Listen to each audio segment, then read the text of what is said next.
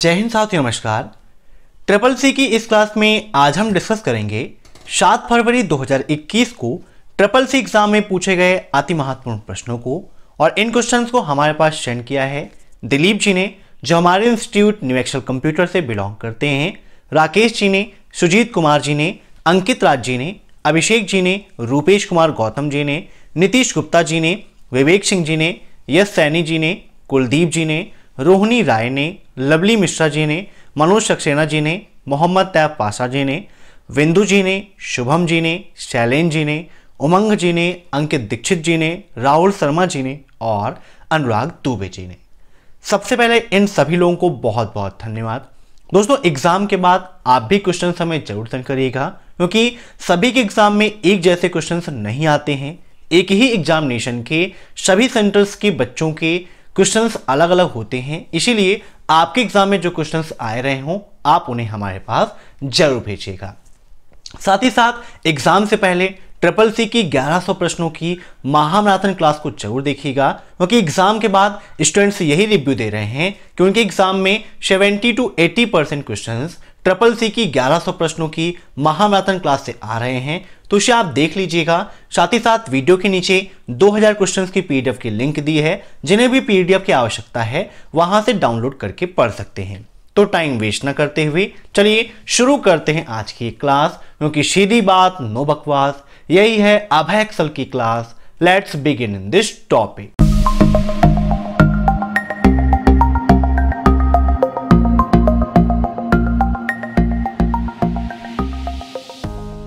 पहला क्वेश्चन आपका, दो सौ रुपए की नोट का कलर स्टोन ग्रे होता है ट्रू या फॉल्स ट्रू एंड फॉल्स के क्वेश्चंस भी आपके लिए काफ़ी इंपॉर्टेंट हैं। एग्ज़ाम में ज़्यादा क्वेश्चंस ट्रू एंड फॉल्स के नहीं आ रहे हैं, लेकिन फिर भी जो क्वेश्चंस आ रहे हैं काफ़ी अच्छे हैं। तो दो सौ रुपए की नोट का कलर स्टोन ग्रे नहीं होता है। ऑप्शन सेकेंड इज़ फॉल्स ठीक है? ट्रू एंड फॉल्स में एक चीज़ की सावधानी आपको रखनी होती है। कभी कभी फ़र्स्ट ऑप्शन में फॉल्स लिखा होता है और सेकेंड में ट्रू तो आपको बी केयरफुल देख के काम करना है कि फ़र्स्ट में ट्रू है या फिर सेकेंड में अब नेक्स्ट स्वच्छ भारत मिशन किस निगम से संबंधित है? काफ़ी इंपॉर्टेंट क्वेश्चन है। आज एग्ज़ाम में पूछा गया था जो आपका स्वच्छ भारत मिशन है, जिसके अंतर्गत पूरे भारत को हमें स्वच्छ करना है। है ना? ये हमें करना भी चाहिए। तो ये किस निगम से संबंधित है? तो इसका राइट आंसर होगा म्यूनिसिपल ठीक है? ऑप्शन फ़र्स्ट इज़ राइट अब नेक्स्ट विंडोज़ 10 मीन्स जो चौंसठ बिट का विंडोज़ 10 कंप्यूटर है, उसके लिए मैक्सिमम रैम का आकार क्या होगा? देखिए, दो चीज़ें होती हैं। एक होता है विंडोज़ 10 विंडोज़ 10 है क्या? आपका ऑपरेटिंग सिस्टम का एक वर्जन है।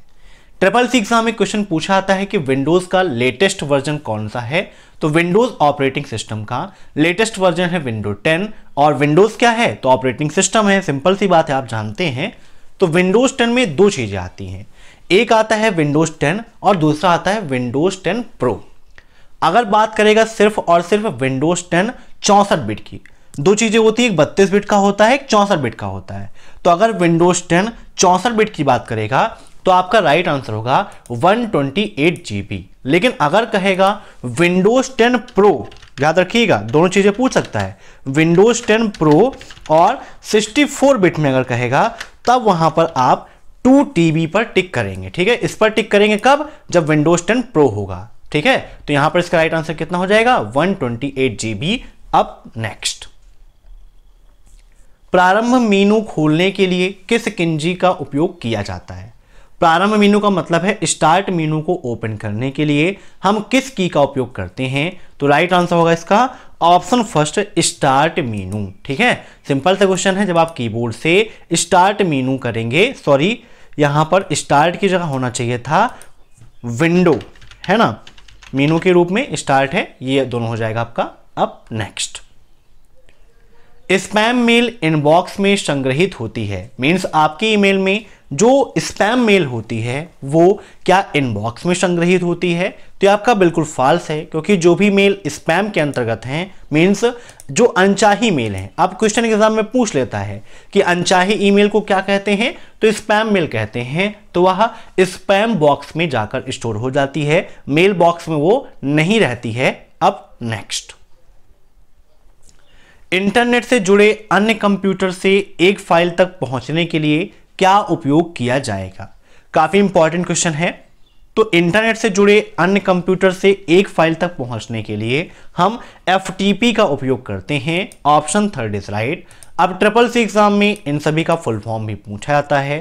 तो एफ़ का फुल फॉर्म होता है फ़ाइल ट्रांसफ़र प्रोटोकॉल वहीं पर अगर एचटीटीपी का फुल फॉर्म पूछता है तो हाइपर टेक्स्ट ट्रांसफ़र प्रोटोकॉल होता है एच का फुल फॉर्म अब next which O S uses G U I कौन सा operating system G U I का उपयोग करता है?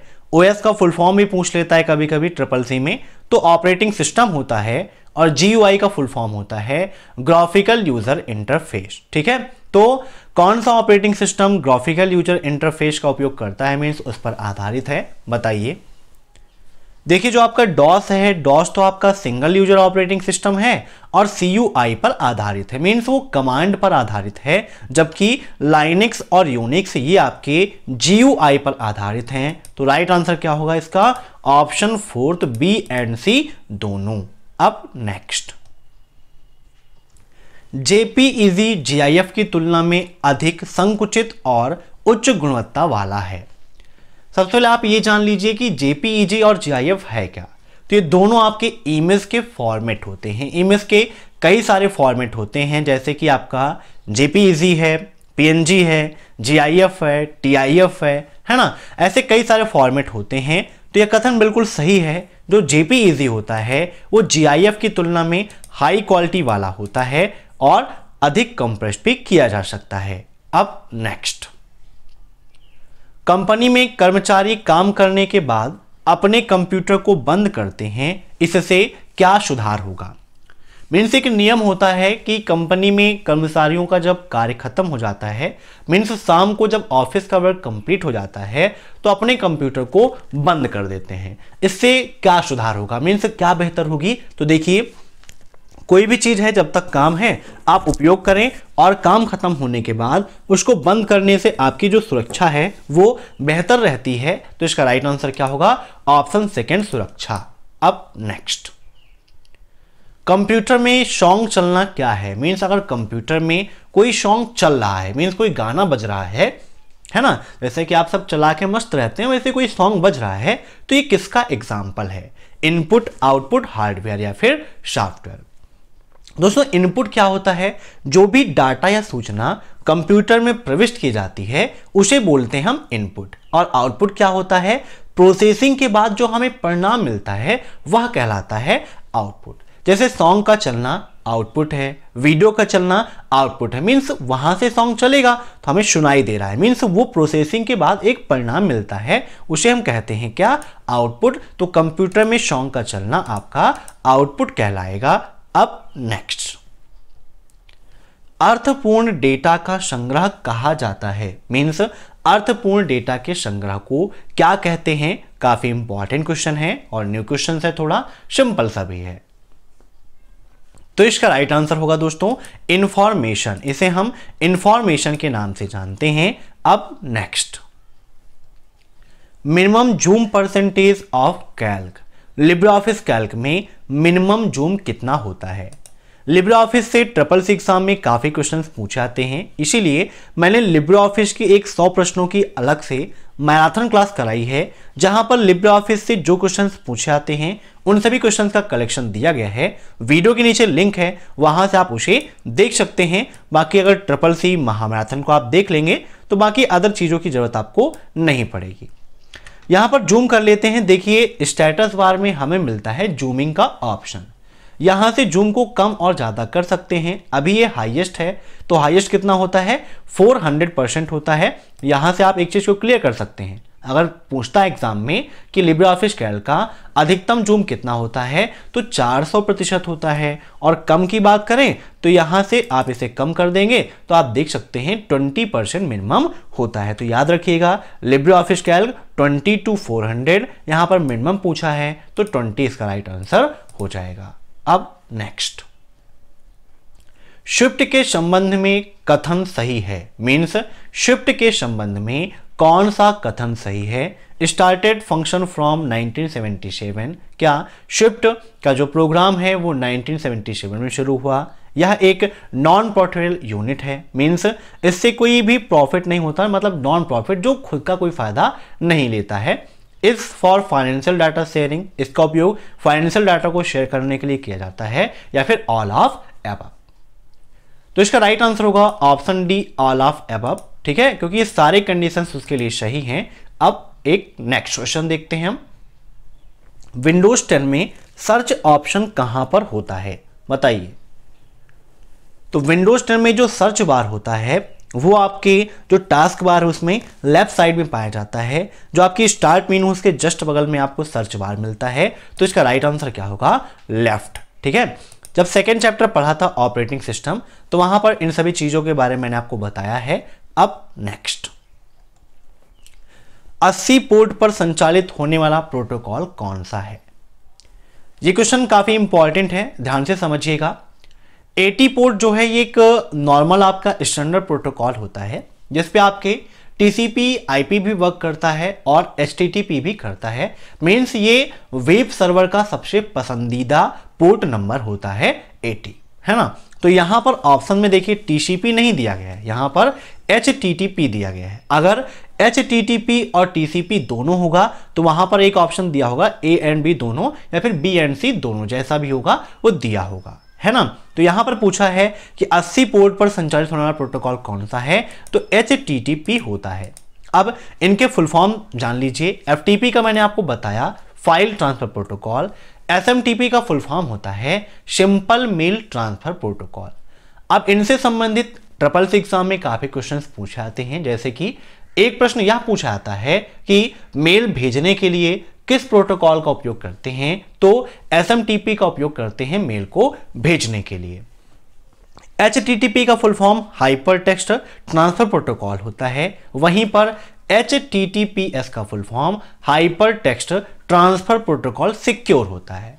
ट्रिपल सी एग्ज़ाम में प्रेजेंट टाइम पर एक क्वेश्चन ये पूछा जा रहा है कि एच में टीटी क्या प्रेजेंट करता है? कल भी एग्ज़ाम में आया था। एस में टीटी क्या प्रेजेंट करता है? तो टीटी क्या करता है? टेक्स्ट ट्रांसफ़र को प्रेजेंट करता है। तो कई बार ट्रिपल सी में ऐसे ही देता है कि पूरा फुल फॉर्म ना पूछकर किसी एक वर्ड या दो वर्ड का पूछ लेता है और उसमें आप कंफ्यूज हो जाते हैं तो सही से फुल फॉर्म को आप याद रखिएगा। ठीक है? तो इन पॉइंट्स को आप नोट कर लीजिएगा। जब भी आप वीडियोस देखिए, साथ में एक नोटबुक और पेन ज़रूर रखिए, ताकि जो पॉइंट्स मैं अलग से बताता हूँ, उनको आप नोट कर सकें। अब नेक्स्ट। यूपीआई जिसका प्रयोग रुपए को भेजने के लिए करता है, वह किससे संबंधित है? अब यहाँ पर देखें तो देखिए, आरबीआई, एसबीआई और योनो और एसबीआई। यहाँ पर एसबीआई दो बार है। यहाँ पर चेंज कर देते हैं, एक जगह हम कर देते हैं एनपीसीआई। तो बताइए, यूपीआई का मतलब क्या होता है? Unified payment interface. अगर यहाँ पर देखें तो आरबीआई, एसबीआई, ये दोनों बैंकें हैं। योनो एस बी का एक ऐप है। तो एनपीसीआई जो आपका संबंधित है, वो सॉरी यूपीआई आपका एनपीसीआई से संबंधित है। क्योंकि यूपीआई को लॉन्च किसने किया था? एनपीसीआई ने। बाकी बैंक तो सारी यूज़ करती हैं, है ना? जो भी इंटरनेट बैंकिंग की सुविधा देता है, वो एनपीसीआई के द्वारा जो यूपीआई है, उसकी सुविधा तो देता ही देता है है ना? चाहे वो पीएनबी हो एसबीआई हो बीओबी हो, कोई भी बैंक हो, आप यूपीआई के द्वारा पेमेंट आसानी से कर सकते हैं। एनपीसीआई का फुल फॉर्म भी ट्रिपल सी एग्ज़ाम में काफ़ी पूछ लेता है। तो एनपीसीआई का फुल फॉर्म होता है national payment corporation of India. SBI का full form state bank of India और आरबीआई का full form reserve bank of India होता है। अब next. What is called property software देखिए प्रॉपर्टी सॉफ्टवेयर क्या होते हैं? एग्ज़ाम में काफ़ी पूछा जाता है। दो प्रकार के मुख्यतः इस कैटेगरी में सॉफ्टवेयर होते हैं। एक होता है ओपन सोर्स और दूसरा होता है close source. Open source software का मतलब वह सॉफ्टवेयर जो बिल्कुल फ्री ऑफ़ कास्ट होते हैं। अर्थात जिनका उपयोग करने के लिए हमें किसी प्रकार की कोई भी पेमेंट नहीं करनी पड़ती है। इसके साथ में हमें सोर्स कोड मिलता है। अगर हमें कंप्यूटर प्रोग्रामिंग का नॉलेज है तो उस सोर्स कोड में हम चेंजिंग करके आसानी से उसे अपने अनुरूप बना सकते हैं। और अगर आपको सोर्स कोड की नॉलेज नहीं है तो उसके लिए हमारा दूसरा चैनल है, जिसकी लिंक मैंने वीडियो के नीचे दे रखी है, वहाँ से आप प्रोग्रामिंग भी सीख सकते हैं। और दूसरा जो सॉफ्टवेयर होता है, वो क्लोज सोर्स होता है। क्लोज सोर्स का मतलब बंद स्रोत सॉफ्टवेयर, अर्थात जिनका उपयोग करने के लिए हमें लाइसेंस की आवश्यकता पड़ती है है ना? लाइसेंस के माध्यम से ही हम उसका उपयोग कर सकते हैं। उसके लिए कंपनी को पेमेंट देना पड़ता है और उसके साथ में कोई भी सोर्स कोड नहीं मिलता है, वह कहलाते हैं क्लोज सोर्स सॉफ्टवेयर। अब नेक्स्ट मार्जिन और पैराग्राफ की शुरुआत के बीच के स्थान को क्या कहते हैं? मीन्स जो मार्जिन होता है और पैराग्राफ के शुरुआत के जो बीच में स्थान होता है, उसे हम बोलते हैं इंडेंटेशन। ठीक है? Option D is right. काफ़ी इंपॉर्टेंट क्वेश्चन है आपका। अब नेक्स्ट। बैंकिंग क्षेत्र में अधिक संख्या में चेकों के तेज निस्तारण के लिए निम्नलिखित में से कौन सा प्रयुक्त होता है? बताइए। तो बैंकिंग के क्षेत्र में अधिक संख्या में चेकों के तेज निस्तारण के लिए उपयोग कौन सा किया जाता है, बताइए। बारकोड रीडर ओसीआर एम या फिर ओ एम आर तो इसका राइट आंसर होगा option third M I C R का उपयोग किया जाता है। अब नेक्स्ट इंस्टाग्राम के फाउंडर कौन है, बताइए। इंस्टाग्राम किससे संबंधित है? तो फेसबुक से संबंधित है। और इंस्टाग्राम का उपयोग क्यों करते हैं? तो अधिकतर हम फ़ोटो और वीडियो को शेयर करने के लिए इंस्टाग्राम का उपयोग करते हैं। ठीक है? तो इंस्टाग्राम के फाउंडर पूछा गया है तो इसका राइट आंसर हो जाएगा इसमें option second Kevin Systrom and Mike Krieger ठीक है? इन दोनों लोगों ने मिलकर इंस्टाग्राम का निर्माण किया था। मुख्यतः केविन सिस्टॉम का नाम ही आता है, ये उसमें प्रथम थे। तो ये थे आज के अति महत्वपूर्ण प्रश्न, जिनका भी कल एग्ज़ाम है, वो मॉर्निंग की क्लास को ज़रूर अटेंड करेंगे। साथ ही साथ वीडियो पसंद आया हो तो वीडियो को लाइक कर दीजिएगा, और अगर आप हमारे परिवार में नए हैं तो इस परिवार से जुड़ने के लिए सब्सक्राइब कर दीजिएगा। साथ ही बगल में जो बेल आइकन है, उसे भी प्रेस करिएगा, ताकि कुछ नया पके इस परिवार में। तो वह पकवान आपके पास भी पहुँचे। Thanks for watching my video फिर मिलते हैं नेक्स्ट क्लास में। तब तक के लिए बाय